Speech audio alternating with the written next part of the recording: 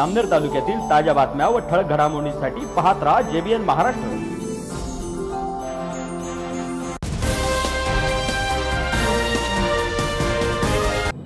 नमस्कार मी मिनल चौधरी. पाहूया काही ठळक वृत्त. निसर्ग कवी म्हणून ख्याती असलेले आणि मातीचा गंध गीतातून देणारे ज्येष्ठ कवी नाधो महानोर यांची दुर्धर आजाराने प्राणज्योत मावळली असून ते एक्क्याऐंशी वर्षांचे होते. ते गेल्या काही वर्षांपासून किडनीच्या आजाराने त्रस्त होते. त्यांच्यावर पुण्यातील रुबी हॉल क्लिनिक येथे उपचार सुरू होते. अखेर तीन ऑगस्ट रोजी सकाळी त्यांनी अखेरचा श्वास घेत या जगाचा निरोप घेतला. सोयगाव तालुक्यातील पळासखेडे या त्यांच्या मूळ गावी त्यांच्या शेतात त्यांच्या पार्थिवावर शासकीय इतमामात अंत्यसंस्कार करण्यात आले. नाधो महानोर यांच्या निधनाने साहित्य विश्वावर शोककळा पसरली असून त्यांचे अंतिम दर्शन घेण्यासाठी त्यांच्या चाहत्यांनी मोठी गर्दी केली होती.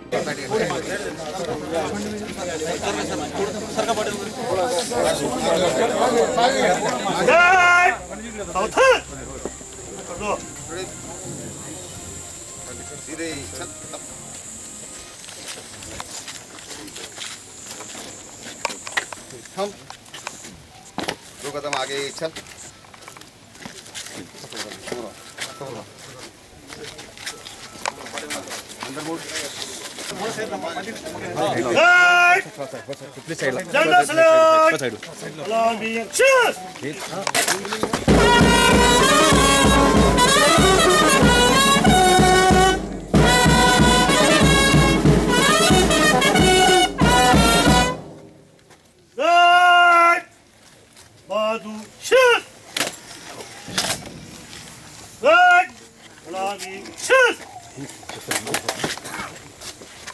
Right! उल्टा बगल shoot!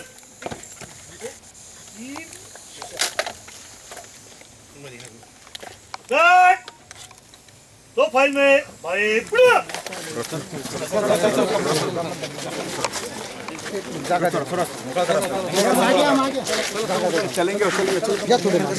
Right! Shoot! Guard! Show! Shut! Guard! Salame! Chest! Guard! Bazo! Chest!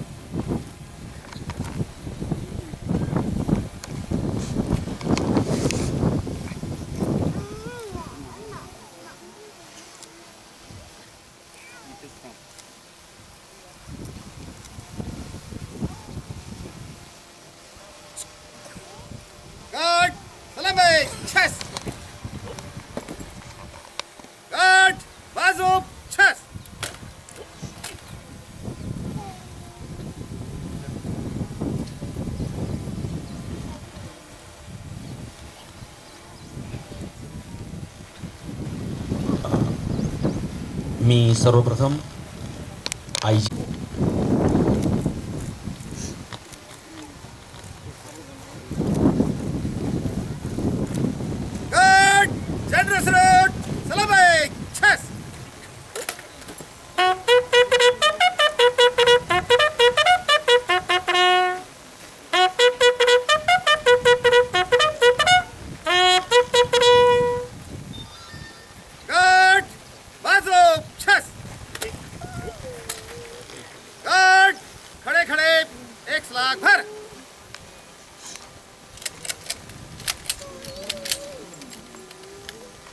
पेश कर.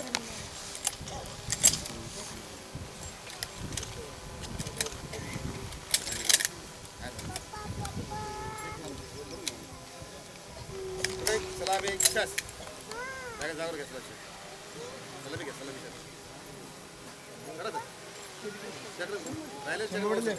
यानंतर मी विनंती करीन जळगावचे एस पी राजकुमार साहेब यांना विनंती करेन की त्यांनी इथं शासनाच्या वतीने पुष्पचक्र अर्पण करावं. जळगावचे एस पी.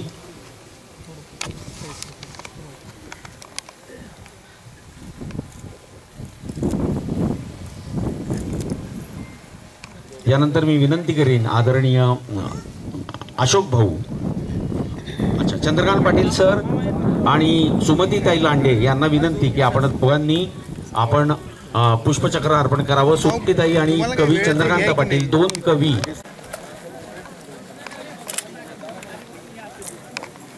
पेश कर भर फिर भर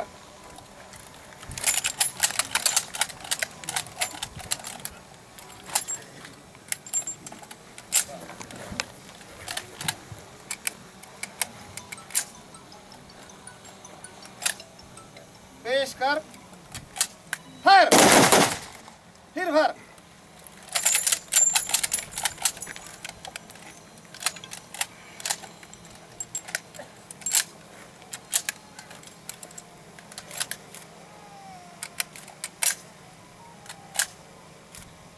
पेश कर फायर. खाली कर.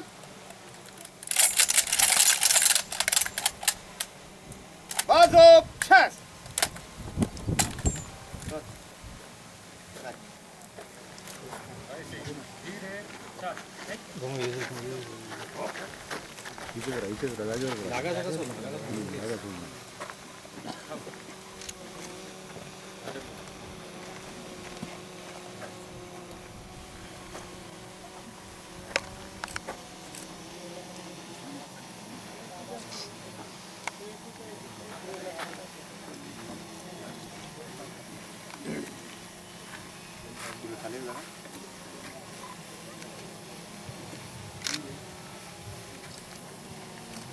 शासनाने दादांचा सन्मान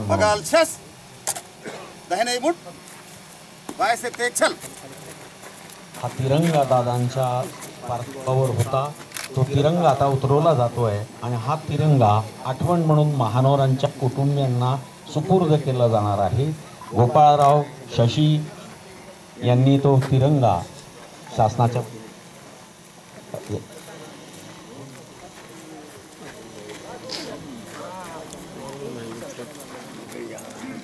अरुणभाई गुजराती यांनी आमच्या अरुण गुजरातींनी यशवंतराव चव्हाण प्रतिष्ठानच्या सोबत दादांच्या सोबत काम के आपल्या हुंडीवाले ताई इथे आहेत. माननीय देवकराप्पा आणि महानोर दादा यांचं अत्यंत प्रेमाचं नातं होतं. असे देवकराप्पा गोविंदजी अग्रप आहेत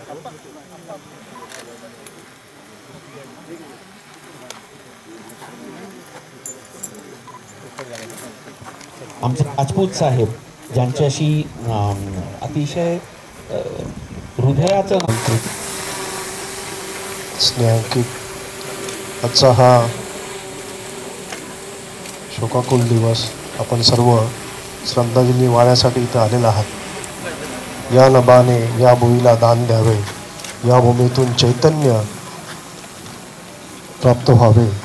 हे चैतन्य जे आहे जे भूमीमधनं जन्माला आलं होतं ते नामदेव दादांच्या रूपाने आलं होतं. त्यांनी निसर्गावर प्रेम केलं. निसर्गाबरोबरच ते वाढले मोठे झाले. त्यांची कवितासुद्धा निसर्गातच फुलली. आणि एक महान अतिशय उंचीचे असे कवी लेखक कादंबरीकार साहित्यिक पद्मश्री मान्य नामदेवदादा यांना माझ्या भावपूर्ण श्रद्धांजली. आमच्या संपूर्ण पोलीस नाशिक परिक्षेत्रीय पोलीस यांच्या वतीने मी श्रद्धांजली वाहतो. इथं एवढंच सांगू इच्छितो की माझ्या डिटेक्टिव्ह स्टोरीमधल्या पहिल्या पुस्तकाला दादांनी प्रस्तावना दिली होती आणि ती एक पानाची नाही तर नऊ पानाची स्वतःच्या हस्तलिखितात दिली होती. या ठिकाणी मी पुन्हा एकदा समर्पित होऊन त्यांना भावपूर्ण श्रद्धांजली अर्पित करतो. धन्यवाद. दादा कुठलं हे पळासखेड आहे नीट यायला जागा नाही रस्ता नाही कुठल्या तरी रिमोट भागात कोणालाही माहीत नसलेल्या या छोट्याशा खेड्यात आभाळाला स्पर्श करेल असा कवी जन्माला आलाय. मला या पळासखेडचा इथल्या ग्रामस्थांचा हेवा वाटतो की कुठलं तुमची पुण्य असतील? की असा कवी या पळासखेडला जन्माला आला. मी यानंतर विनंती करीन की दादांचं पार्थिव आपण या ठिकाणी आणावं. आपण यशवंतराव चव्हाण प्रतिष्ठान आणि समस्त जळगाव जिल्हा आणि एकूणच जी काय राजकीय पक्ष कोणताही असो जी काय राजकीय परंपरा आहे त्या सगळ्यांच्या वतीने आपण महानोर दादांना इथं श्रद्धांजली अर्पण करावी.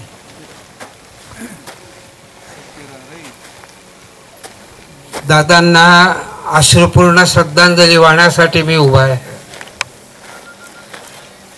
कवी महानोर हे महाकवी होते. रंग देखील होता.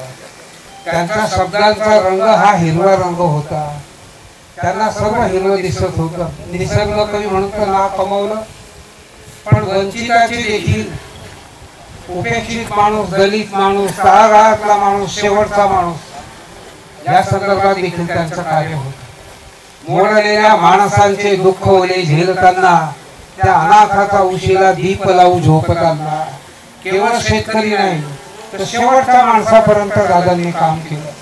विशेषतः मी असं सांगेन कवितेच्या संदर्भात तर सर्वांना माहीत आहे सर्व याच्यात आलेले आहेत वृत्तपत्रामध्ये माहिती. पण दादा बारा वर्ष विधान परिषदेमध्ये होते. त्यांची ती जी भाषणं आहेत ती भाषणं मला अजून आठवतात. आणि विशेषतः अशासकीय विधान परिषद अशी स्तब्ध व्हायची. अशा पद्धतीने कार्य करणारे अत्यंत चांगलं असं केवळ कवी एक मोठ्या माणसाचा माणूस मोठ्या हृदयाचा माणूस उत्तम उंचीचा माणूस त्यांना श्रद्धांजली वाहण्याची वेळ येते. आपल्या सर्वांना जे दुःख आहे व्यथा आहे परत त्यांनी यावं हो. आणि आपल्या कविता आणि आपले शब्द वापरा अशी देवाला प्रार्थना त्यांच्या आजच्या या प्रसंगी जे दुःख झालेलं आपल्या सर्वांचं दुःख आहे. ते एका कुटुंबाचं दुःख नाही एका गावाचं एका राज्याचं दुःख नाही सबंध हिंदुस्थानाचं दुःख आहे. त्यांच्या पवित्र आत्म्याला शांती मिळो अशी प्रभूचरणी प्रार्थना. ओम शांती. हा माणूस बारा वर्ष आमदार होते दादा. आणि आज जे काय पाणलोट आपल्याला दिसतं ठिकठिकाणी पाणी अडवा पाणी जिरवा हे जे दिसतं हे दादांचं धोरण आहे. आणि आज बाजारात जी फळांची मुबलकता आहे ती महानोर दादांच्या फळबागा धोरणामुळे आहे. पवार साहेबांना ती त्यांनी सांगायचं आणि पवार साहेबांनी ऐकायचं.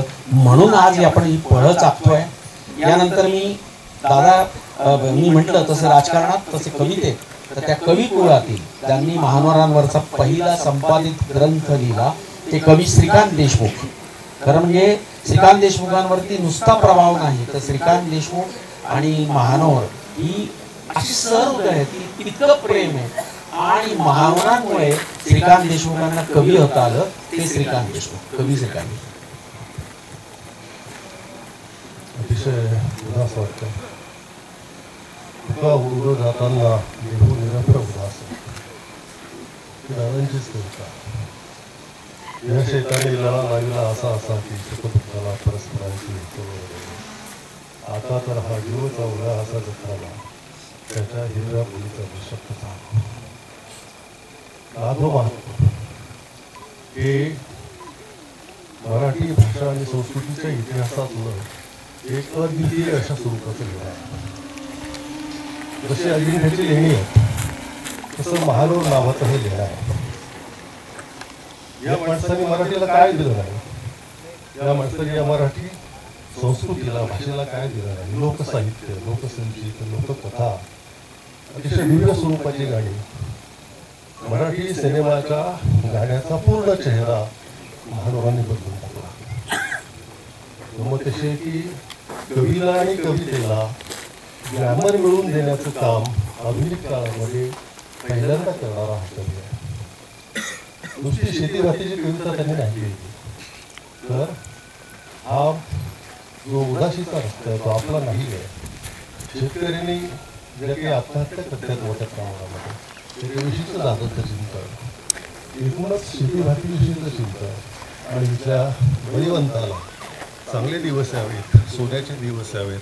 म्हणून त्यांची जी प्रचंड अशा स्वरूपाची अर्थात अशा स्वरूपाची धडपड होती अगदी दोन महिन्यापूर्वी दादा नांदेडला आले त्यावेळेला तीन दिवस आम्ही बरोबर होतो तासन तास गप्पा मारल्या. त्यात सुद्धा हे दिसायचं की या शेतीवरचं अरिष्ट दूर राहण्याच्या ज्या अपेक्षा होत्या त्या दृष्टीने काही एक भूमिका घेतली पाहिजे. त्या दिशेने काम केलं पाहिजे. तुम्ही कुणाचं जे नाव आहे आमचा सगळ्यांचा बाप तुकोबा आहे ज्योतिबा आहे. बाबासाहेब आंबेडकरांची आमची परंपरा आहे. ही सगळी परंपरा परिवर्तनाची परंपरा आहे. ही परंपरा कवितेतून मांडणार आहे. साने गुरूंचं गोड धरून समाज हिताची काल ठरणारे अतिशय अलौकिक अशा स्वरूपाची तुम्ही पद्मश्री माधव महादेव सर्वजण आपण त्यांना अतिशय आदराने जातो दादरला श्रद्धांजली अर्पण करताना मला हा प्रचंड दुःख होतं थांबतो.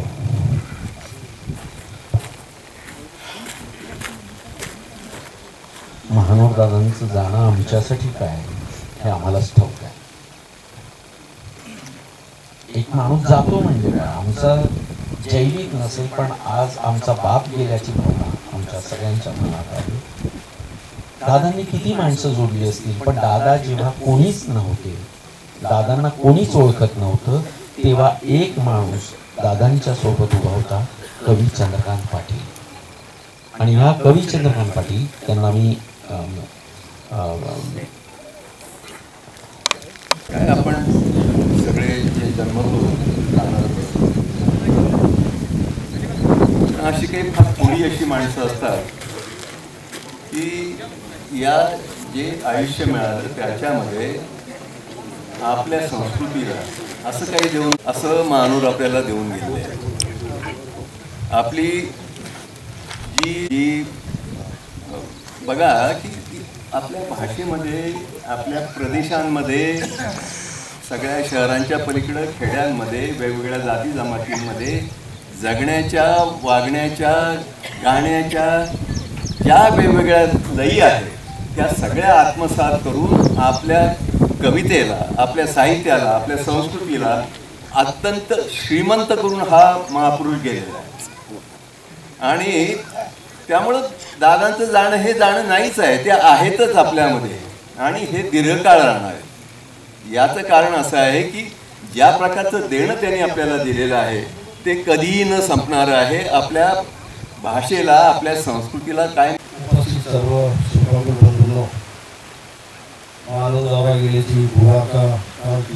जैन सिंधुलीमध्ये शिक्षण झालं. आमच्या घरादारामध्ये त्यांचा वावर होता. अतिशय प्रेमळ रान कवी काळ्या आईवर प्रेम करणारा कवी पद्मश्री पुरस्काराने प्राप्त झालेले कवी. बहु अंगाने बहु रंगाने नटलेले माधव दादा हा आपल्याला सगळ्यांना सोडून काळाच्या पडद्याआड गेले. आपल्या जिल्ह्यातून नव्हे राज्यातून नव्हे तर देशातून नव्हे तर पूर्ण सात समुद्रापार त्यांनी या भागाचं नाव मिळलं कवितांच्या माध्यमातून साहित्याच्या माध्यमातून. असा एक थोर महान कवी आणि साहित्यिक याला आपण सर्व मुठलेलो आहोत. की त्यांच्या मृतांना चिरशांती मिळेलच. अनेकांचे जे मार्गदर्शक होते तसे आमच्याही संस्थेला ते मार्गदर्शन करायचे. आणि शेंदुरीच्या शाळेत शिक्षण झाल्यामुळे आतून प्रेम त्यांचं घरून घराण्यावर घरून घराण्याशी संबंधित होतं. महानुभावाला ज्यावेळी शेंदुरीला कोणत्याही कामाने यायचे तर घरी येऊन प्रत्येकाला भेटून मगच जायचे. आता उरल्या त्यांच्या फक्त आठवणी. असे पांघरे येते आणि सुट्टी ठेवून जाती या नावाने या भुईला दार द्यावे. जय जय पिक्चरमधलं त्यांचं गाणं या अमृत पिकल्या झाडावरती रोड कुणाला वाजवती या फक्त आता शब्दांमध्ये राहिलेल्या आहे आणि त्या आपण त्यांच्या तुमनं ऐकण्यामध्ये जी मजा होती ती आता आपल्याला कदाचित ऐकायला मिळणार नाही. आपण सर्वजण त्यांच्या शब्दाला आणि आवाजाला मुकलेलो आहोत. मी बाबूंना श्रद्धांजली अर्पण करतो. धन्यवाद. दादांचा अंतम सयाजी शिंदे. त्यांनी सांगितलं की मी तिथे पोहोचू शकत नाही याचा सल मनात कायम राहील असे कितीतरी नंदू माधव अशा कितीतरी लोकांच्या मनात सल आहे की आज ते दादांच्या या महानोर दादा भवरलाल भाऊजी आणि शरद पवार साहेब. हा मैत्रीचा असा आयाम आहे की या दोन माणसांनी या मातीतल्या कवीला असं घट्ट धरून ठेवलं होतं आयुष्यभर की काय बोलावं? खरं म्हणजे मैत्री या विषयावरती आपण अनेकदा म्हणतो पण अनपेक्ष मैत्री कुठल्याही प्रकारच्या स्वार्था पलीकडची मैत्री काय असते ती बघायची असेल तर ती भवरलाल भाऊ आणि महानोर दादा महानोर दादा आणि शरद पवार साहेब. हे जे त्रिकूट आहे खरं म्हणजे हा ग्रंथाचा विषय.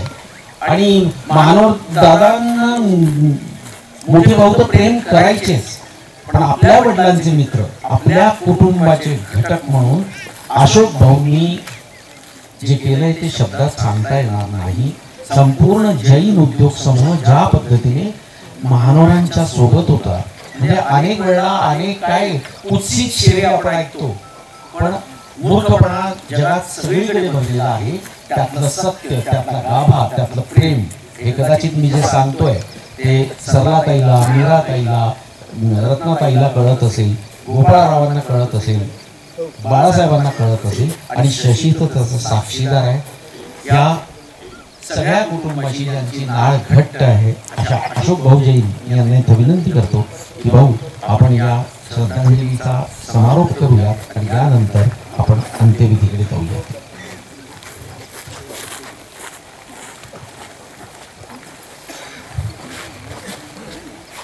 आज बोलायची वेळ नाही परंतु कुटुंबाची मित्रांची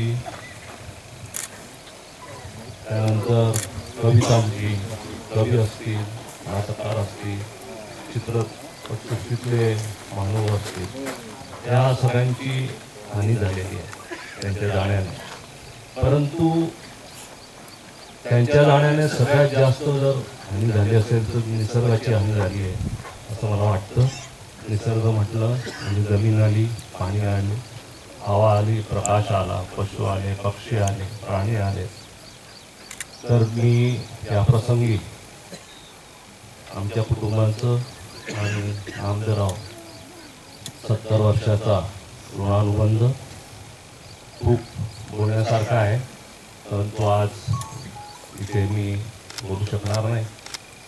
शब्द अपुरे पडतील एवढं महान कार्य महान व्यक्ती आणि महान घरातला एक आपला माणूस आपण सगळ्यांनी गमवला आहे. मी हृदयापासून भवरलाल आणि कांताबाई जैन परिवार भवरलाल आणि Kantabai Jain foundation Bahinabai Chaudhari memorial trust Gandhi research foundation आणि जैन इरिगेशन सिस्टीम लिमिटेडचे सगळे सहकारी यांच्या व- वतीने सोबत जळगाव शहर जळगाव जिल्ह्याच्या वतीने मी हृदयापासून श्रद्धांजली अर्पण करतो. हर्षल पाटील यांच्याशी त्याची मैत्री. आमची पंचवीशीची हर्षदा कोलटकर तिच्याशी त्यांची मैत्री. हे जे मैत्रीपूर्ण संबंध होते ना दादांचे आणि इथे दादा आभाळा एवढा मोठा माणूस होता. दादांची कविता दादांनी दुष्काळासाठी लिहिली. आज मला याच सगळ्या आपल्याच्या भावना की दादा गेल्यानंतर आपल्याला काय वाटतं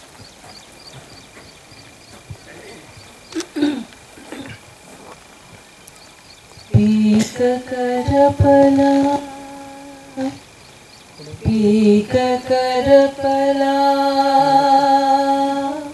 पक्षी दूर शिरला गर्या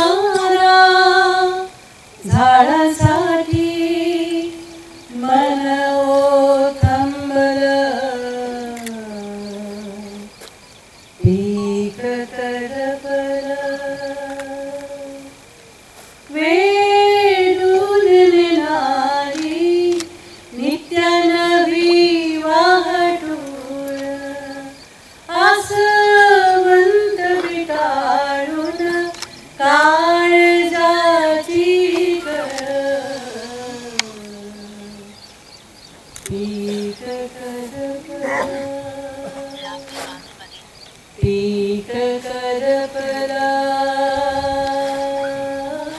पक्षी दूर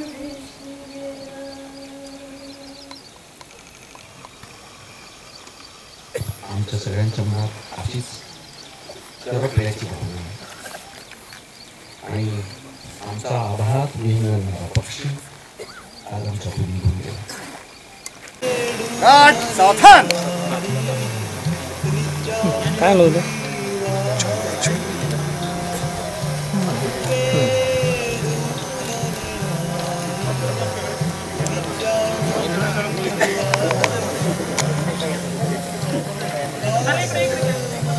Hãy subscribe không bỏ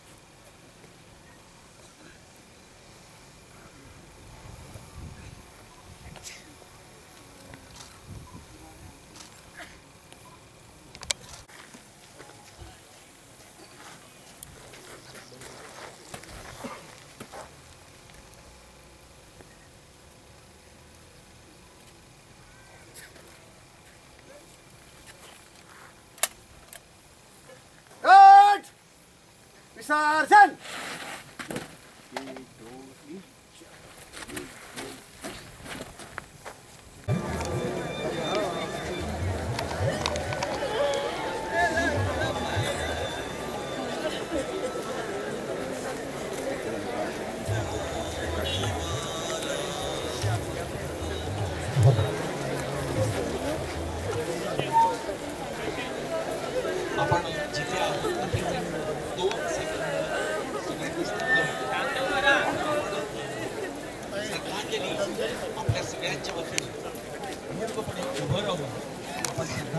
बातमी तिथेच थांबूया ताज्या अपडेट्ससाठी W W W J B N Maharashtra dot com या आमच्या वेबसाईटला लॉग इन करा. तसेच यूट्यूबवरील आमचे व्हिडिओ पाहायला विसरू नका आणि Google play स्टोअरवरील J B N news app download करून J B N Maharashtra news channel live पहा. नमस्कार.